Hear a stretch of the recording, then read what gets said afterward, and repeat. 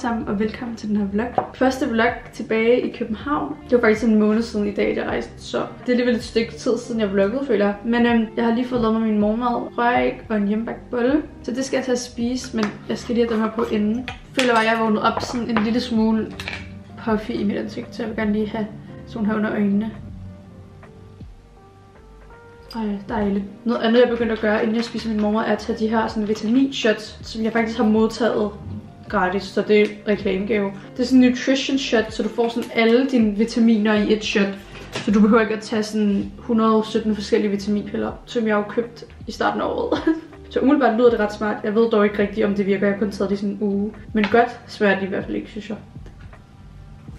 Ah, det er sådan lidt ligesom et ingefærshot på en eller anden måde. Men jeg har tænkt mig lige at få spist min morgenmad, mens den stadig er varm.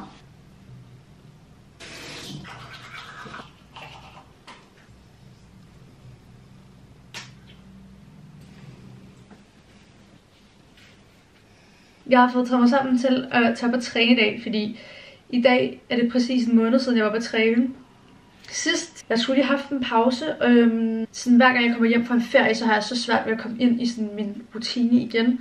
Og jeg lige kommet i sådan en ret god rutine, føler jeg, inden jeg troede at rejse, sådan træne hver uge og sådan noget. Det er så meget flot for mig at komme derop hver uge. Så jeg vil gerne lidt i gang igen, så øhm, jeg tager op i dag. Normalt når jeg træner, så er det sådan styrketræning, jeg træner for det meste bare sådan ben og glutes. Jeg var blevet rigtig træt af sådan styrketræning. Jeg føler, altså sådan, det er overhovedet ikke det er sjovt.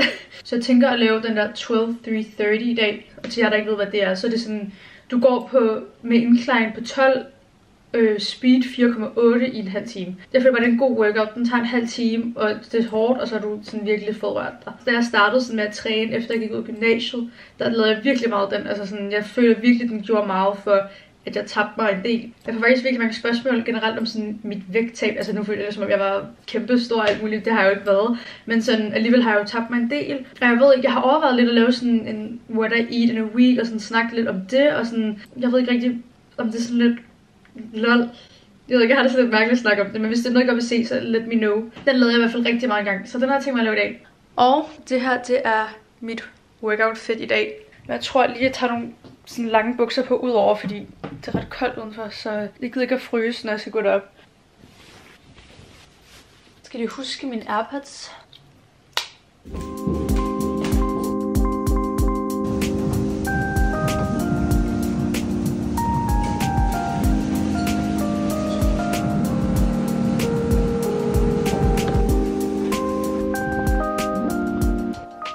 Jeg er lige kommet ind ad døren. Puh, jeg har det virkelig varmt. Man glemmer helt sådan der, hvor dejligt man har det, når man er færdig med at træne, når man ikke træner. Jeg er virkelig glad for, at jeg tog afsted. Også bare sådan, så når jeg går hjem, og solen skinner, og jeg bare sådan, så har det bare virkelig godt. Jeg endte også lige med at lave sådan to benøvelser, efter jeg havde gået på øhm, løbebåndet. Så det var rart. Og jeg tog faktisk også lidt smut forbi Netto på tilbagevejen og købte sådan fire ting. Jeg fik købt lidt jordbær, for jeg følte bare, at min mor bliver 10 gange bedre, når jeg har jordbær. Så vi jeg købe en havremælk, så jeg kan lave shirgrød nogle af de næste par dage.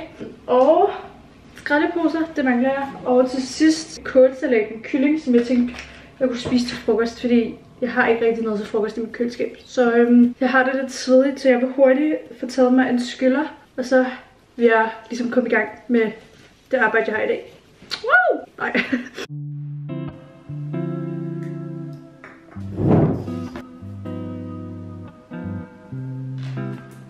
Jeg sidder lige nu og laver lidt arbejde på computeren.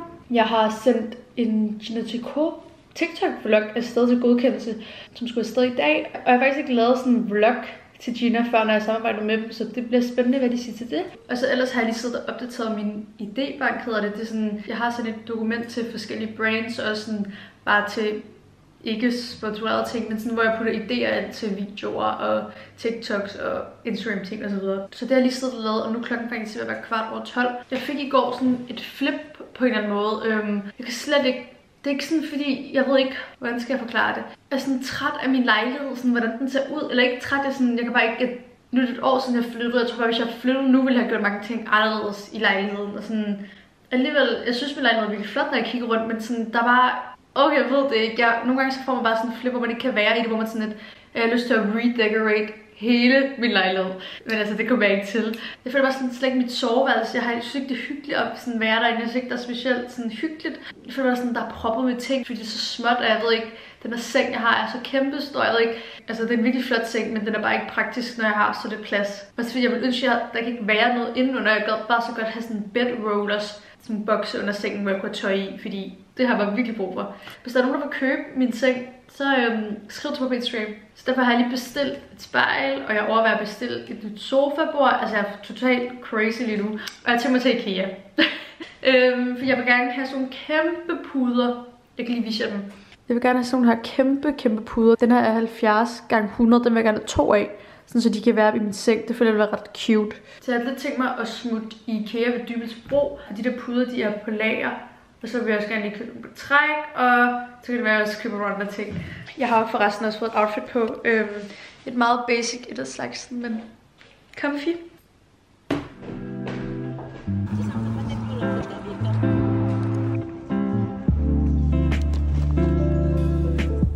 Det er dem her, jeg ledte efter.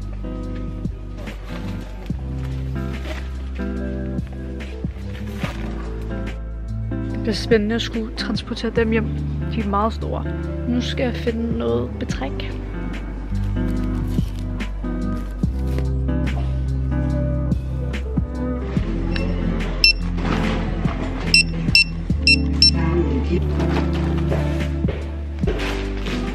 Back home. Tænk lige, at vi skal hvad købt i IKEA. Alt andet ville være mærkeligt. Ej, forresten. Jeg elsker den her hoodie. Den er fra Chile Tricot, og der står San Diego, men den er bare sådan så blød. Jeg har valgt den i en large, så den er bare kæmpe stor. Jeg synes bare, ej, den er så dejlig. Altså i sølv bliver jeg købt, men nu viser jeg det bare alligevel. Øhm, jeg købte de her to kæmpe puder, som er 70 x 100. Og da jeg så dem, tænkte jeg, gud, de er godt nok store, men jeg har en vision, og jeg tror, det bliver rigtig pænt i min seng. Sådan, jeg føler, det bliver sådan lidt cozy. I går aftes, da jeg havde det der sådan totalt interiør-flip, eller hvad man skal kalde det, var inden for servicezonen, der er kæmpe gavlpuder. Øh, jeg fandt vildt sådan her 70 gange 100 puder på ellers, men de kostede 400-500 kroner stykket, og de her de kostede 169. Så det var heldigt, at IKEA havde nogen. Og så købte jeg bare sådan to hvide, sådan, de, sådan et stribet hvide øhm, pudebetræk. Så jeg købte to af sådan nogle her bøtter, eller hvad man skal kalde det. Den ene er sådan til alle mig er sådan hundesnacks og mad, og altså, det sidder bare i mit skab sådan helt rodet, så jeg tænkte, at jeg kunne få den her til det. Den anden har jeg købt til mit badeværelse. Jeg ved ikke helt, om det bliver godt, men jeg tænker, at jeg kunne stille alle mine sådan, shampoo og sådan noget i den, så det ikke bare står sådan hulter til bulter. Så jeg købt en masse sterillys, fordi jeg er stor forbruger af sterillys. Jeg synes bare, det gør så meget. Jeg går næsten ikke i IKEA uden at købe den her præcise pakke. Til sidst har jeg købt to forlængerledninger, men det er fordi, jeg har kommet til at brænde min ene forlængerledning af, så sådan, jeg har manglet virkelig en ny. Men ja, det var det lille haul her. Jeg tror lige, jeg vil pakke de her puder ud, fordi nogle gange har sådan puder været sådan helt rodet sammen, så de er sådan lidt kompakte. Så de kan lige ligge på min seng og sådan fluff op. Åh, oh, hvor er den dejlig. Oh my god, den er stor. Hold nu kæft. Jeg skal lige prøve at se, hvordan den ser ud på min seng. Altså sådan størrelsesmæssigt. Måske har jeg købt lidt for store puder. Det er det jo sindssygt. Den fylder jo halvdelen i sengen. Ej, hvor er jeg dum. Jeg skulle synes ikke, at købe sådan en stor pude, føler jeg. Meget dejligt dog. Jeg tænker lige her senere, for at tage et træk på og sætte det op i min seng. Og så ser vi, om det ser cute ud. Det bliver altså ikke lige nu, for jeg er simpelthen så sulten, så jeg skal have noget mad. Jeg tror lige, jeg vil koge lidt pasta, som jeg vil putte i den der salat, jeg købte tidligere. Bare så den mætter en lille smule mere.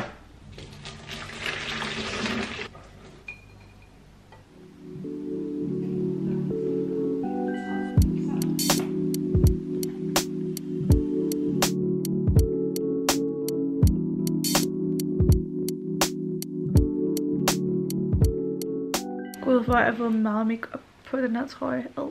Jeg har lige lagt lidt i min seng i lidt tid, og har læst lidt i min bog. Til jer, der fulgt lidt med på kanalen her i år, så ved I måske, at jeg lavede sådan et nytårsforsæt, kan man jo vist godt kalde det, om at læse en bog om måneden. Det her, det er min aprilbog.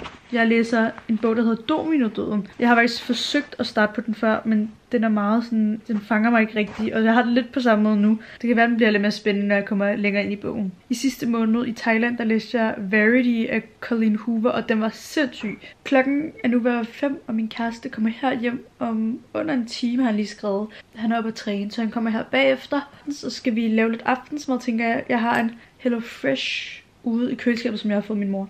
Ej, jeg vil lige vise jer, hvordan sengen endte med at se ud. Så det her blev the outcome. Jeg havde to lyseblå pudebetræk på dem før, men det skiftede lige til hvid, for så tænkte jeg, at det var sådan lidt pænere. Det ser da ret cozy ud, gør det ikke? Jeg har både facetime med min mor og min søster for at høre sådan, hvad de synes. Og de synes begge to, er pænt. I må godt lige sige, hvad I synes dernede. Og hvis I synes, det er grimt, hvad skal jeg så gøre? Jeg håber, I også synes, det er pænt.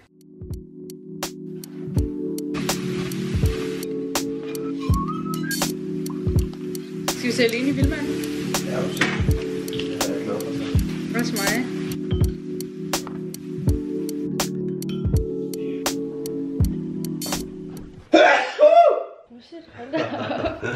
Så er han så også ankommet til matriklen. Vi har lige lavet aftensmad, og som jeg sagde, så skulle vi lave sådan en Hello Fresh ret.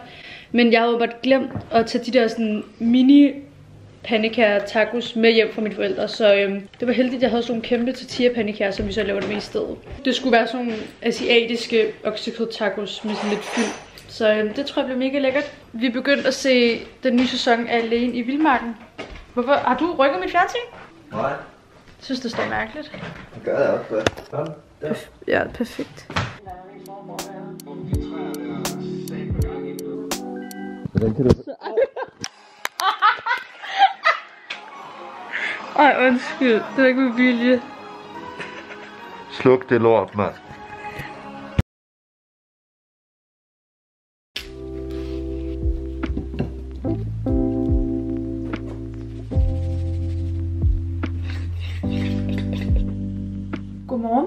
Min kæreste lige smudt ud af døren, så jeg tænkte, at jeg ville lave min morgenmad nu. Jeg har stadig den samme hoodie på som i går, men den er simpelthen så rar, så øh, jeg starter altid med min morgenmad, lige så snart min kæreste er gået, så føler jeg sådan, så kan jeg bare relax og lave det i mit eget tempo. Jeg har lige lavet en- dej til nogle proteinpandekager. Min kæreste har sådan en protein stash op på allerøverste hylde, hvor der er chokoladeprotein og vaniljeprotein, og så er der de her pandekage ting.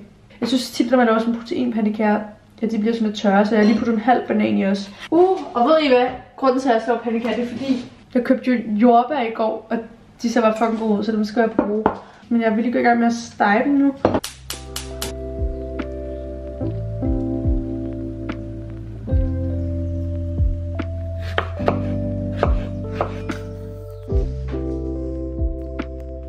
Fuck, de ser gode ud.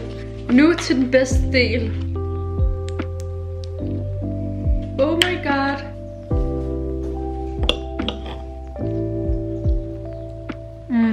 Det ringede lige på min dør, men der var ikke nogen, der sagde noget, så nu må vi lige se, hvad det er. Tak. Jeg var helt i tvivl om, det her var til mig. Ej, det er fra Bearballs. Spændende. Oh, ej, oh my god. Ej, en sjov måde at transportere det på. Ej, hvor vildt. Så de udkommer med en ny proteinbar. Cookies and caramel. Ej, hvor lækkert. Det glæder mig så meget til at smage. Jeg er nødt til at sende et billede af det her til Viggo. Han elsker de her barer.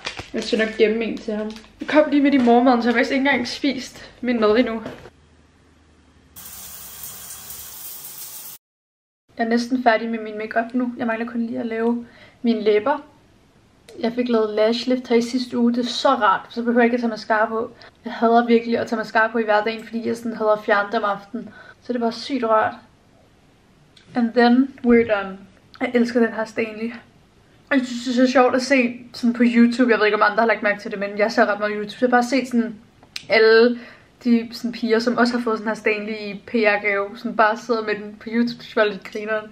Jeg vil fortælle jer om mine tirsdagsplaner i dag. Klokken er ved at være 10.11, så her om en times tid, der har min søster fri, og så kommer hun hjem til mig, fordi vi skal lave en kæmpe closet clean out i dag. Mit skab heromme, jeg skal nok vise jer det senere, det er så slemt. Altså, jeg synes ikke, jeg har super meget skabsplads. Det er ikke engang 2 meter. 1 meter 75, 1 meter 75, hvis det giver mening. Alt mit tøj ligger sådan her huller til buller, og skufferne kan ikke engang lukke. Sådan, jeg gør hver dag sådan her, gør alt for sådan pres, skub, luk, og det går ikke. Og så lidt senere her i eftermiddag, der har jeg en aftale med min veninde Sofia. Vi skal bare lige ses og catch lidt op, og jeg tror måske, vi går en tur i det der hver. Jeg tror lige, jeg vil hoppe i et outfit, og så venter jeg egentlig bare på, at Emily, hun kommer.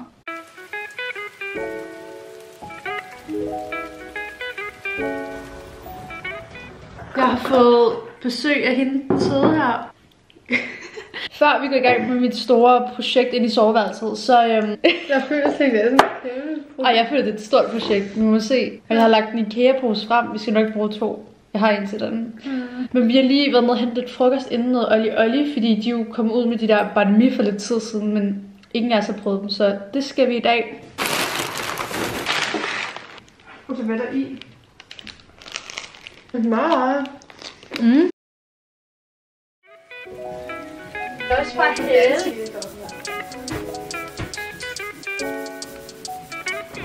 det er et problem. Ej, jeg skulle lige til at sige det. Det var en skuffe, det der. Jeg er også åbne vinduet, så der kommer lidt frisk luft. Ja. Men we are keeping the spirit high. Det er rigtigt. Det er Emilys bunke indtil videre. Det er kun derfor, jeg vil hjælpe for. Så blev Emily og jeg endelig færdige. Mit skabe står så flot lige nu. Altså sådan, look at this. Altså prøv at se, hvor sådan satisfying min skuffer er. Det her det er så rart, altså. Og vi har lige været op med alt det tøj, jeg skal sælge, som jeg har puttet i IKEA-poser, det vi putter op på loftet. Så det bliver et projekt til en anden dag. og så er alt det tøj, Emily skal have med hjem, det her. Så der er også en del. Ej, jeg er helt meget. Der er også helt så meget. Min mor kommer her, fordi hun skal hjælpe Emily med at transportere lidt af ting hjem, men inden der skal de på fisketåret. Så hun kommer med hunden, fordi det var lidt synd for ham, hvis han skulle være alene hjemme nu, fordi han har været, han har været alene hjemme hele dagen og sådan noget. Så hun kommer med ham her, og så kommer Surf om sådan to sekunder. Hun kan være her any minute. Og så tænker jeg, at vi går en dejlig tur med Maja.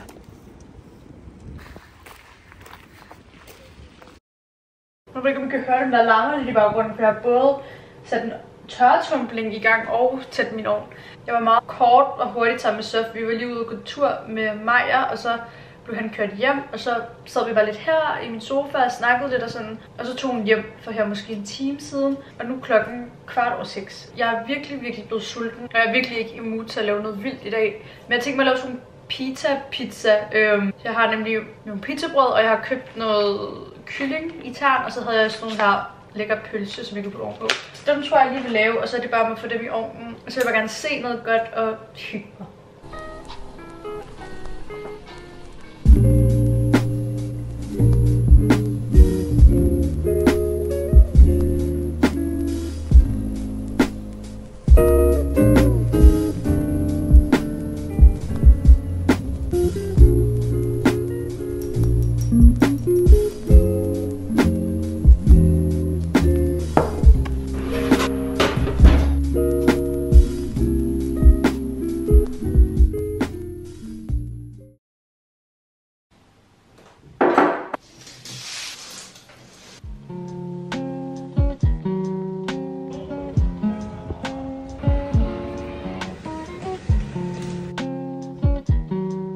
Godmorgen. Jeg skal lige have mit glatte jern i stik, og så sætter jeg mig ned og snakker til jer. Jeg fik sådan lidt lyst til at lave mit hår her til morgen, så jeg tror, at jeg vil prøve at sådan sætte dem op i nogle rollers. De er virkelig ikke særlig gode til, men jeg føler, at det bliver sådan okay cute, når jeg gør det, så nu prøver vi. Ej, en dejlig morgen. Jeg har, haft, jeg har været på træne. Har jeg bare lige været i bad og lige så på nogle mates og sådan noget. Så nobody judge me, hvordan jeg gør det her. Sådan, jeg ved ikke rigtig, hvad jeg gør. Jeg prøver mig bare frem. Jeg er ikke den bedste til hår, føler jeg.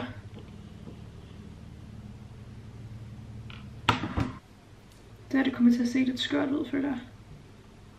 Wow, klokken er lige nu blevet 11.20, og jeg har et møde inde i byen her klokken 1. Jeg skal til møde med min agent, eller samarbejdspartner, eller hvad man nu vil kalde det. I hvert fald hende, hjælper mig med alle mine sådan, kampagner med kunder og så videre. Øhm, Men vi har et møde i dag, fordi hun i næste uge skal ind og have et møde med en eventuel samarbejdspartner, altså et brand, øhm, som kunne være vildt nice. Og så skal vi ligesom sådan forberede sådan nogle forskellige ting, og ligesom sådan lige have alt på plads, og bare så er vi 100% sådan enige om, hvad vi vil, og hvad jeg vil, og så videre. Så det bliver vildt spændende, jeg glæder mig rigtig meget. Jeg elsker faktisk at være til sådan nogle møder, for jeg føler altid, at jeg bliver sådan virkelig motiveret af at sådan snakke om sådan nogle ting, og det var virkelig, virkelig fedt, synes jeg. Jeg har kun to rollers tilbage, men jeg kan ikke, føler ikke rigtig, at jeg kan komme til om. Så nu, nu tager jeg bare lige sådan de resterende totter og gøre det, jeg også gjorde før, bare sådan uden at sætte dem i en roller. Det der møde kommer ikke til at tage en time, halvanden time eller sådan noget. Og så tager jeg her hjem bagefter, og så kommer min kæreste, når han er fri fra skole. Jeg vil lidt de her skøre rollers sidde i 10 minutters tid, og så vil jeg tage dem ud. Uh, der ringer på døren. Hej. I går ringede du også på, og sådan, der ikke må sige noget i røret, så du går bare ind, men nu ved jeg ikke, om det er til mig eller ej. Det håber jeg ikke, når jeg ser sådan her ud. Åh, oh, det var dig. Jeg troede, det var en pakke, man tænker ikke, Ja. altså sådan her ud. Ej, skat, du ser... Du ser sindssygt ud. Nu er det tid til at dem her ud.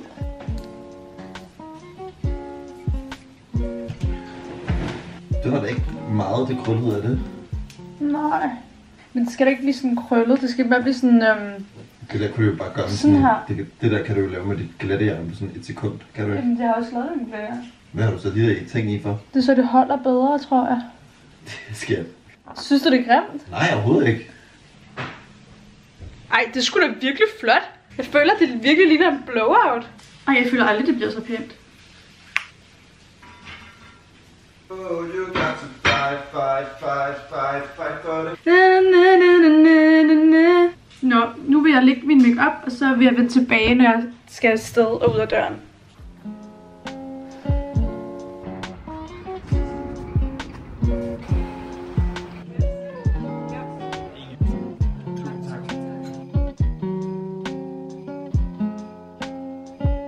Jeg skulle lige på toilettet, så jeg lige gået ned på badeværelset.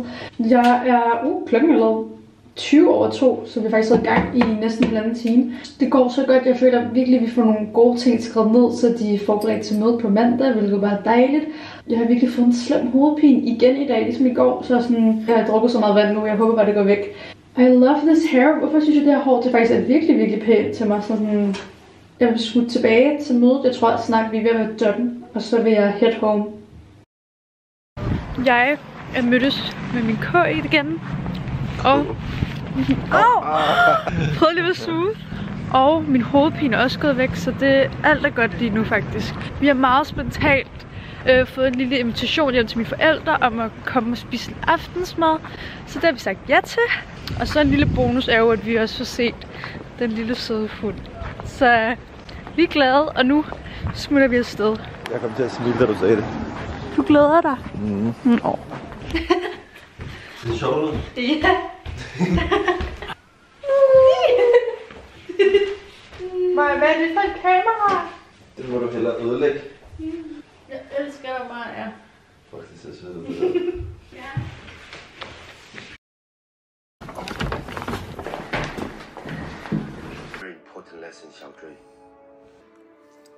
God aften. Klokken er ved at være halv 10 eller sådan noget, tror jeg. Måske næsten 10. Vi er kommet her tilbage til lejligheden.